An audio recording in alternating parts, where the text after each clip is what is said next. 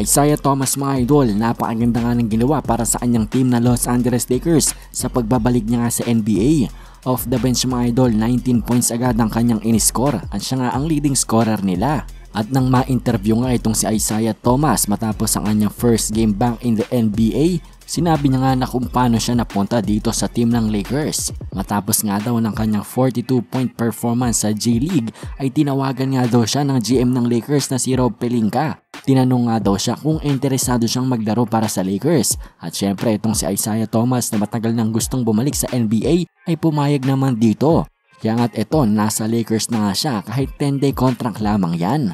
Binulgar nga ni Isaiah Thomas kung sino bang nag-recruit sa kanya dito sa Lakers. Ayun nga ay si Rob Pelinka.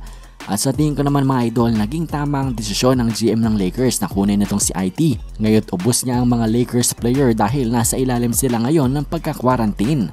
At meron nga ding nasabi itong si IT na ay kitutuwangan ng mga Lakers fans Napag-usapan kasi nila sa kanilang post-game interview ang kalusugan ni Isaiah Thomas matapos nga ang kanyang major injury sa kanyang hip. Sinabi niya mga idol healthy na nga daw siya.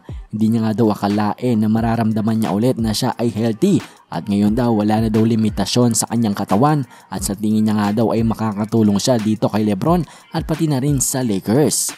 At naging patunay naman mga idol ang kanyang ginawa sa kanyang unang game para sa kanila 19 puntos agad sa 21 minutes na kanyang paglalaro. Kaya nga't sana mga idol itong si ID ay mabigyan nga ng pagkakataon pa dito sa team ng Lakers at mapatunayan niya na makakatulong nga talaga siya sa kanilang team. At para naman sa ating susunod na balita mga idol, Golden State Warriors, meron nga silang target date dito para kay Klay Thompson sa kanyang pagbalik. Sa January nga yan mga idol, next month pa. Balak nga nila mga idol, tinatarget nila na January 9 nga yan or January 10 sa atin against sa Cleveland Cavaliers o kaya naman sa January 18, 19 yan dito sa Pilipinas against nga sa team ng Detroit Pistons.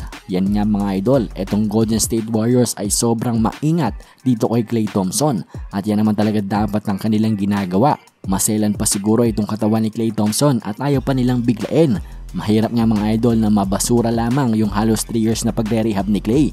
Yang ditong Golden State Warriors na iintindihan ng kanilang trabaho na kailangan dahan-dahan nga lang ang proseso ng pagbabalik neto ni Clay Thompson sa court.